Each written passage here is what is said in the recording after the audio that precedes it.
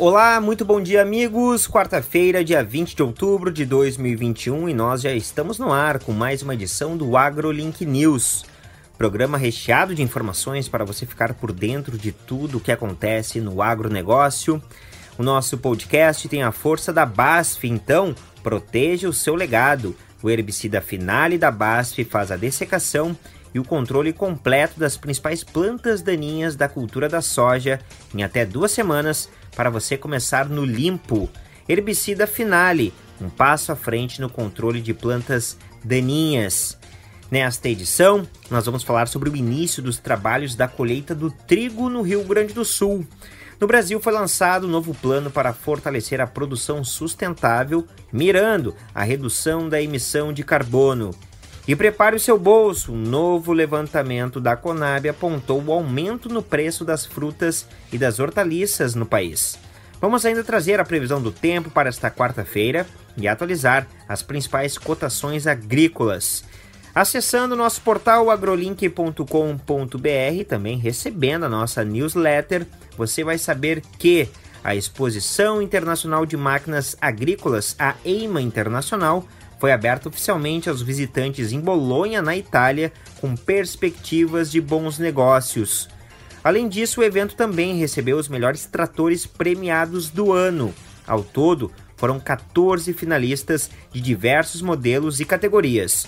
A competição realizada na EIMA é considerada uma das mais importantes para o setor no mundo.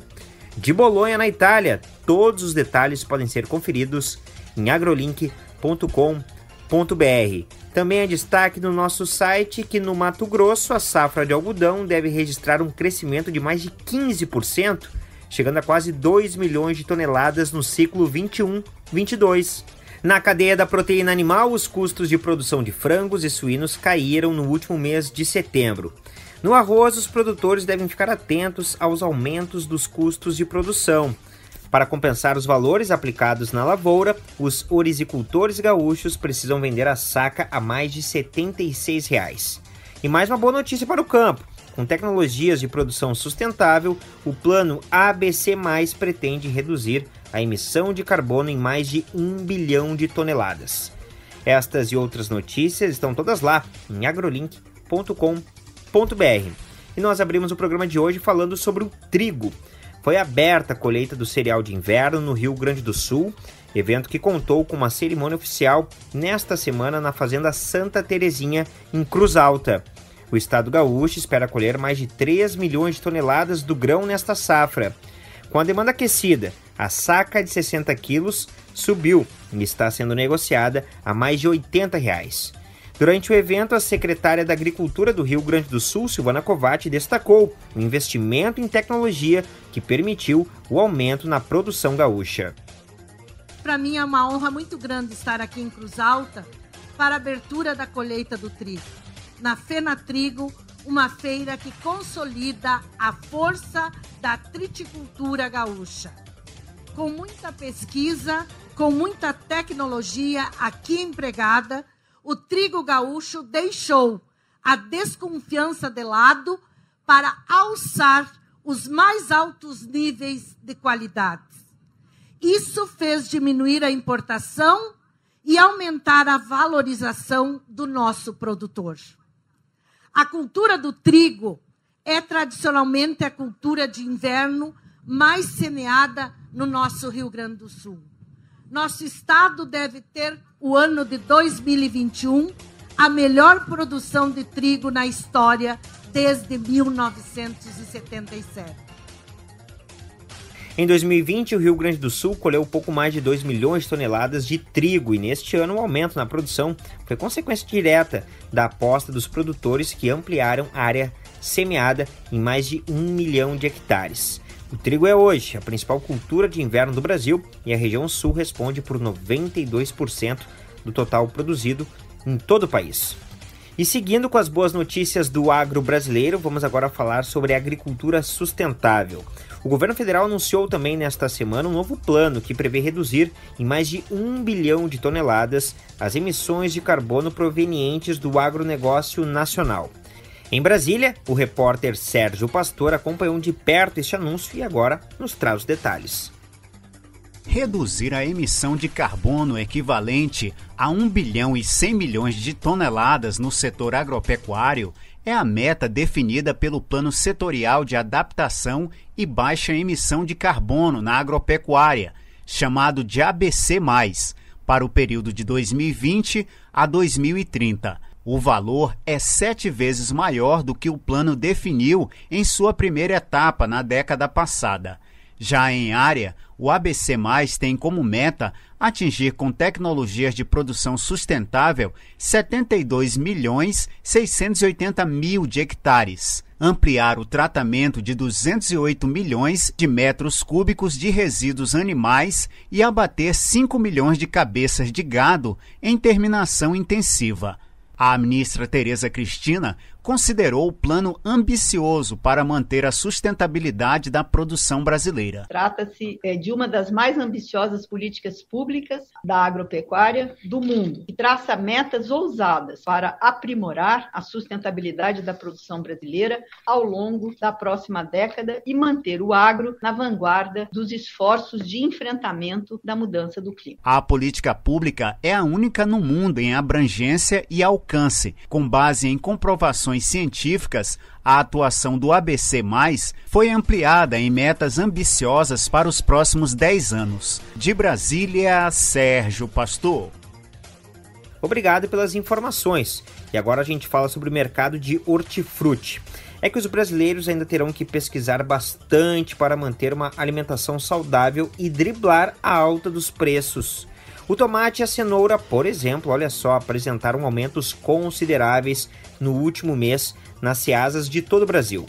Conforme o décimo boletim do Programa Brasileiro de Modernização do Mercado Hortigranjeiro da Conab, foi divulgado nesta terça-feira, a queda da oferta de tomate provocou elevações de preços de 50% a 60%, especialmente na segunda quinzena de setembro, e continuam em outubro, já que ainda há pouco produto disponível.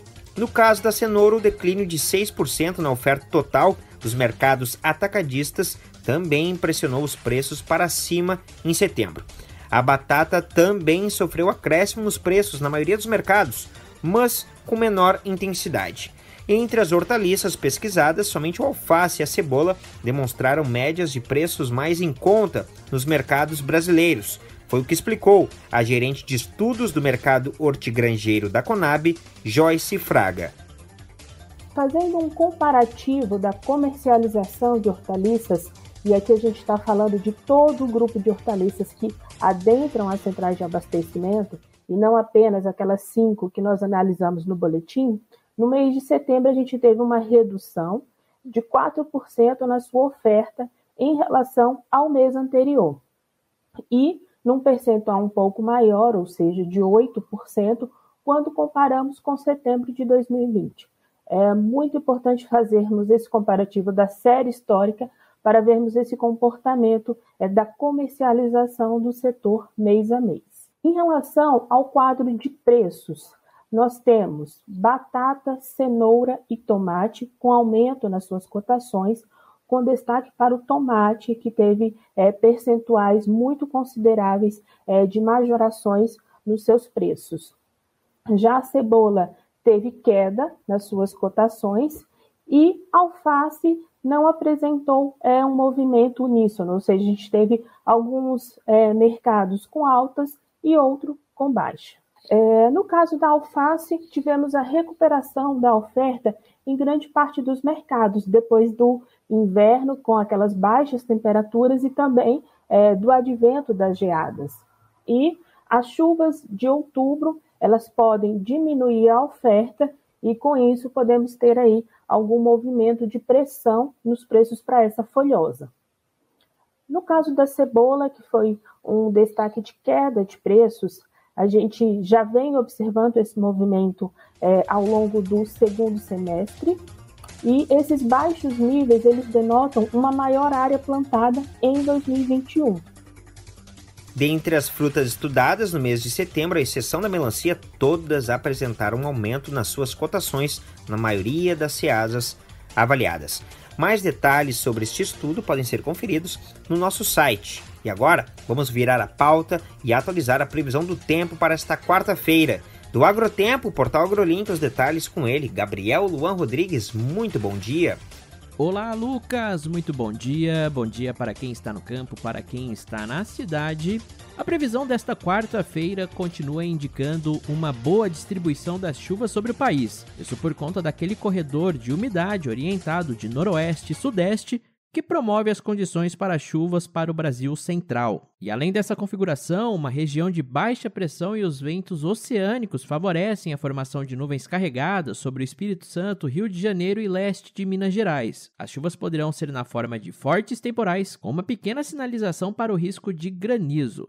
E os acumulados poderão ultrapassar a marca dos 40 milímetros em alguns pontos dessas áreas. Já sobre o centro-oeste, as chuvas ficarão mais irregulares. A tendência é de que as pancadas sejam isoladas na metade norte do Mato Grosso e um pouco melhor distribuídas sobre o Goiás e Distrito Federal. As chuvas ficam na sua maior parte abaixo dos 10 milímetros, mas podem se aproximar dos 20 milímetros no entorno de Brasília. E mesmo com a presença do corredor de umidade, o sul do Mato Grosso terá a influência de uma massa de ar mais seco, o que acaba impedindo a formação de chuvas sobre a região, assim como no Mato Grosso do Sul e boa parte da região sul. E o predomínio será de sol no oeste do Paraná, oeste catarinense e grande parte do Rio Grande do Sul. Apenas o litoral de Santa Catarina e Paraná, com a influência dos ventos oceânicos, podemos ter algumas pancadas fracas e passageiras. Agora, na região norte, Maranhão, Piauí, oeste e sul da Bahia, temos condições para chuvas. Essas chuvas podem ser fortes, especialmente na parcela mais central do Amazonas, promovendo acumulados superiores aos 40 milímetros. E sobre as temperaturas, Lucas, nós continuamos com este padrão abaixo da média e faz até frio nas regiões mais altas do sul. E essas temperaturas abaixo da média podem ter impacto no número de graus dia para as culturas que estão sendo implementadas agora, o que pode atrasar em alguns dias o avanço dos estádios dessas culturas. Fico por aqui e para quem quiser mais informações e notícias sobre o tempo e clima, acessem agrolink.com.br/agrotempo. Volto contigo, Lucas, e desejo a todos uma excelente quarta-feira. Muito obrigado pelas informações. Na reta final do programa de hoje, a gente traz mais uma boa notícia. Isso porque aumentaram as exportações do pescado brasileiro. Mais detalhes na reportagem de Aline Merladete. Muito bom dia. Bom dia, Rivas. O setor de piscicultura experimental teve um incremento de 10% nas exportações do primeiro semestre de 2021 na comparação com todo 2020.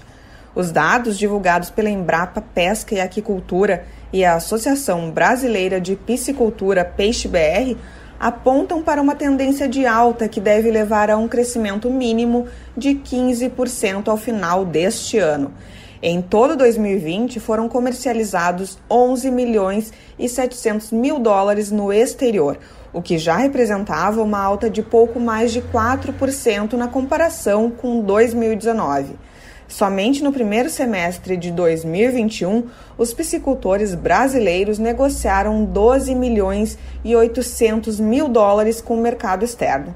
O grande momento de alta foi no terceiro trimestre do ano, quando as vendas externas subiram 71%. O principal produto de venda é a tilápia, espécie que tem uma liderança consolidada de comercialização com quase 5 milhões de dólares. Somente este peixe representou 85% das vendas nos três primeiros trimestres do ano, totalizando quase 10 milhões de dólares. Aline Merladete para o portal AgroLink. Obrigado pelas informações. Fechando o programa de hoje, a gente atualiza os indicadores econômicos do arroz. Saca de 50 quilos do grão irrigado está sendo negociada a R$ 77,25 em Paranavaí, no Paraná. Em Pelotas, no Rio Grande do Sul, R$ 75,20. Este é o preço do arroz. Mesmo indicador em Turvo, Santa Catarina. Em Boa Vista, Roraima, R$ 75. Este é o preço do arroz. Com estas atualizações, nós vamos ficando por aqui. Uma ótima quarta-feira a todos e até amanhã.